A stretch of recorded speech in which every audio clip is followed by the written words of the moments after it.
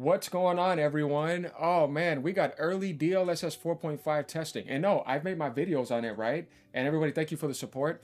Look, now we thought that the older cards getting it, which I mean, it does make things look better. But I mean, guys, we got some stuff to talk about here. Yeah, early DLSS 4.5 testing reveals drastically crisper details but older gen RTX GPUs take nearly 20% performance hit. What? I mean, I got the 5000 series, but even then, this isn't about me. This is about people who are getting locked out because NVIDIA is doing this crap on purpose, where it's like, oh, we could put the 5000 series in front of you from last year, but oh, guess what? You're not getting your supers this year. On top of that, I'm going to force you to feel comfortable about getting the DLSS, but if you want to be a part of that club, which is also restricted by the 5000 series for people to even get that, which is reduced now, you're going to take a 20% performance hit. No, I thought the point now is to help people get more performance, but you're not getting that, right? They're just when it comes to the cards world, what are they doing? They're ghosting you, man. It's flickering, guys. It's not cool. It's like, what's going on here, man? Where's the supers at, right? No, here comes AI again, right? Yeah, I'm getting tired of that crap. It's really starting to annoy me. You know what? Let me let me grab this over here real quick. Uh, I'm, I got to do an NVIDIA on y'all for a second when it comes to the supers. Sorry, they're just not seen. So yeah, going down here, older RTX GPUs will require more VRAM to ensure better visual fidelity. Oh yeah, that's amazing considering how cheap you are with the eight gigabyte VRAM pools of older cards, right? If you don't have something insane. You guys know what I'm talking about? Yeah, this is an AMD where they give you 16 gigabytes of VRAMs for certain cards and stuff. Even consoles have it with older tech, and you can't even get that for newer stuff. Like I've seen some of the stuff like the 5060, some of the 5070. I'm like, why is this 8 gigs of VRAM in some of these laptop setups? What are we doing in 2025 with this? And we're talking about last year, but you got consoles uh, dropping in 2020, right? They were using tech a little bit older than that, and they have 16 gigabytes of VRAM. That's the thing that I know that people liked about AMD because they were doing more raw rasterization. Obviously, NVIDIA is better, but the problem is, is their damn behavior. And it's like, you know, I've I'm very worried about people who are looking forward to the 3060 getting that 8 gigabytes of VRAM slapped in your face and you're saying, oh, I'm going to be able to use this, but guess what? This requires more VRAM. Yeah, sure, you get the DLSS 4.5 benefits, which is reduced VRAM usage, but not that much compared to the newer stuff. And it's not going to be able to make up for that. And I don't know, man. So you guys are going to have to let me know about your test too, but we got some right here. Digital Foundry also has a nice video up too. RTX 20 and 30 series reportedly require two times more VRAM. What? Two times more VRAM with the latest transformer model based DLSS 4.5, but delivers sharper visuals. It's not worth it. That's like telling somebody on consoles, I'm about to kill your frames even more for this setting. Everybody on consoles, and even Mark Cerny said, I want you to think about this on PlayStation 5 uh, resume. It came up, guys. It said 70 to 80% of people choose performance. That means that they care about frames more than they do about sharper visuals. So, to a lot of people, this update may be worthless because they're not getting the frame gen increase that you would get from DLSS 4 and on that the RTX 5 series get. I don't know, man.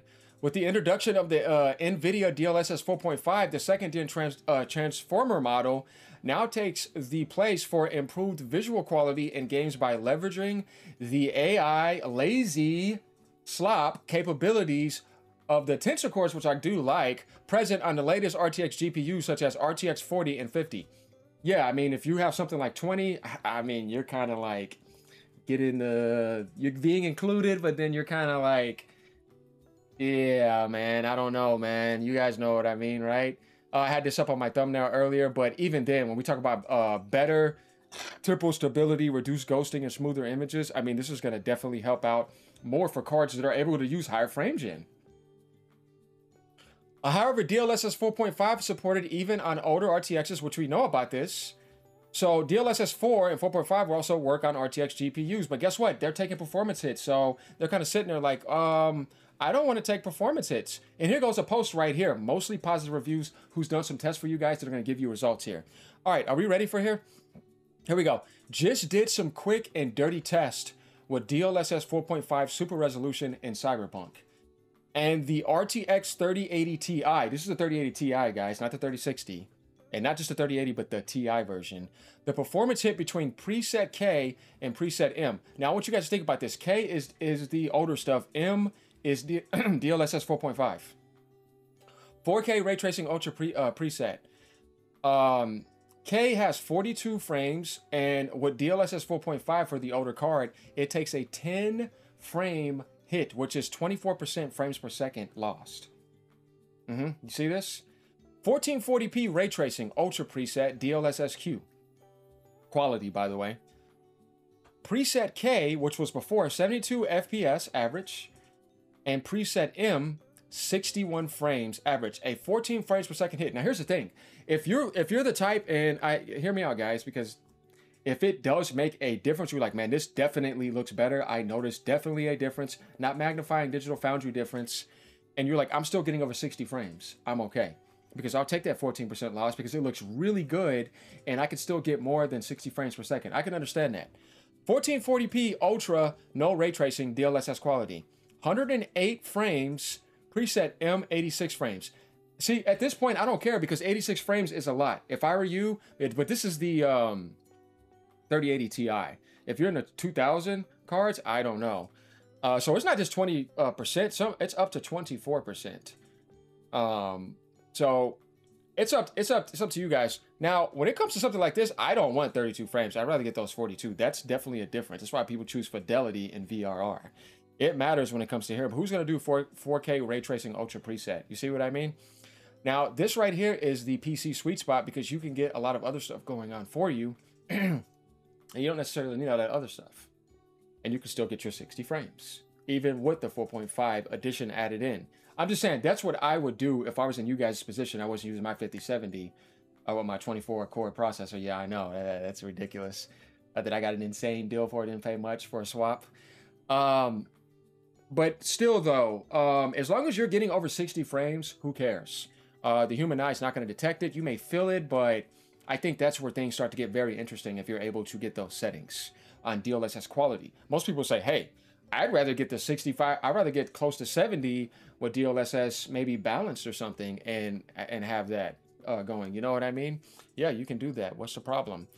The latest DLSS 4.5 is reportedly much more intensive and can easily reduce the performance by around 20%, as reported, as we saw. The 3080 Ti received a staggering 24% performance hit when he ran Cyberpunk 2077 at 4K with ray tracing ultra presets using DLSS quality mode. with DLSS 4.0, the average frame rate was over 40. Oh boy. In DLSS 4.5, it cuts to around 32 frames per second. That's not what I want. At 1440p with the same presets, there's a 14% form- a performance hit, which is somewhat lower, but without ray tracing. The overall performance hit now increases to 20%. And going over here, guys, we see here, look at the VRAM usage here. Increased capacity 87.8%, 96.9%, and 103.7%. VRAM usage when you're using an RTX 20 to 30. Now, obviously, when you go to the 40 and 50, the capacity is way lower. But 3060s, think about this, see what they're doing. Uh, and the 50, the capacity is going to be obviously lower and could probably be lower over time. Uh, but with DLSS times three and four, I mean, you're good. The, the frames are so ridiculous. Doesn't really matter you have a 5000 series. But what is the majority of the biggest pull? That's where we need to look at because those are the most users that are being affected by this. Of course, I can sit here with my 1% and under setup, but is that the whole world? No, that's not why I'm making this video. I'm making this video for the mass majority and obviously for everyone. So it says this is something that other users have confirmed in the thread, including a user with the RTX 4060 laptop GPU who saw a 16% performance hit. It's expected since, unlike the RTX 50 series, previous gen RTX GPUs do not natively have the FP4 and FP8 precision. RTX 40 does have FP8, but however, according to NVIDIA's or NVIDIA's documentation, the RTX 40 series should consume less VRAM with the latest transformer model than the earlier generations. Yeah, that makes sense. Reportedly, the latest DLSS 4.5 will need 40 to 50% more VRAM on the RTX 40 to 50 series GPUs. But for the 20 and 30, you're talking about double. Yeah. So we're seeing this right here. Um, and then when you go over to 4.5, we're seeing that. So right here, we see 75, 80, 80, right? Um, right, 45, 82 megahertz. Just take a look at this. 94 frames per second on the CPU cooling, right? And then we go over here, we see 79, but you're still 79 frames per second. I say at that point, who cares? Um, and obviously you're using more megahertz. Well, actually, no, it's about the same. But uh, temperatures, you know. But what we do see over here is 55, 15 memory and 8,000 megahertz. 5707 and 8001 megahertz. So a little bit more memory here too. And we see DD uh, D12 right here. Um, and there you have it, 13.3 ms. And this is 10.3 ms. So honestly, the increase in ms is not drastic, honestly. That's not that bad, considering what that's what that's at. So those who already uh, boast an 8 gigabyte GPU will face some real performance bottlenecks, particularly when they have already impacted. They are already impacted by the lack of FP8 precision used by the latest transformer model. It uses five times more compute. On the RTX 50, it is a around a 2 to 3% performance hit. This fan, you're not going to suffer at all. It's really made for that, but you're kind of getting backwards compatibility support, basically. Uh, but not at the highest degree since they're too busy on AI. But the image quality benefits it massive. So yeah, that's what I'm saying. This is ma- mainly what we're talking about here. In the 4000 series, you're okay. The 3000 and 2000, oh, NVIDIA's Jacob Freeman confirms that the 4.5 model is five times more compute intensive and only hardware to FP8 such as RTX 50 and 40 series can fully tackle this resource requirement. On the RTX 50 series, enabling DLSS 4 takes a 2 to 3% performance hit with the image quality benefits are very big. For the older uh, cards, as we see through the 20 and 30 series, the results are already shared above. DLSS 4.5 can still have a big impact in games that offer extra performance headroom if users are already getting good FPS in the 100 to 200 range on RTX 20, 30, 40 series and older titles, then it makes sense to enable DLSS 4.5. Yeah. So the highest MS we're seeing here is on a uh, right here is, is the 13.81 MS on the 3060 compared to anything else going up to 4K, which you don't need to do that. You would do 1440p, you know, unless you just want to. I mean, that's up to you. I can't tell you what to do with your stuff. But as we go over here, we see how low this is. This is very low. But up here, yeah, I mean, this is the older models, guys. It's kind of expected. And then as you go down, I mean, the moment you go here, and they're not talking about 4060, we got to go to 4070 Ti and stuff like that. I mean, it's really good over here, but I mean, this is a very low percentage. So this is not really catering to the masses. This is catering to elite structure. Um, however, if they have a higher VRAM GPU, such as the 2080 Ti and 3080 Ti, the DLSS 4.5 will bring drastic better image quality. So yeah, if you're sitting on net, you're okay as demonstrated by a user who benchmarked a game using his 4060 laptop. So we kind of get the idea here. And he tested it on Doom the Dark Ages and Cyberpunk. 2% preference loss in DLSS quality mode on 5090. I mean, that's 5090. Barely anyone's going to have this. So there you have it, guys. here we go with this stuff again. These people are funny with this. You guys going to have to let me know what you think about this. Uh, I mean, at least if you have the 2080, the 3080 Ti, you're gonna be okay. But hey, man, who knows how much that's gonna go up to and how much that is right now? I don't know, man. You're better off going with the newer stuff. Like, comment, subscribe. Let me know what you guys think. As usual, you know what's going down here, guys. Bringing you the truth later.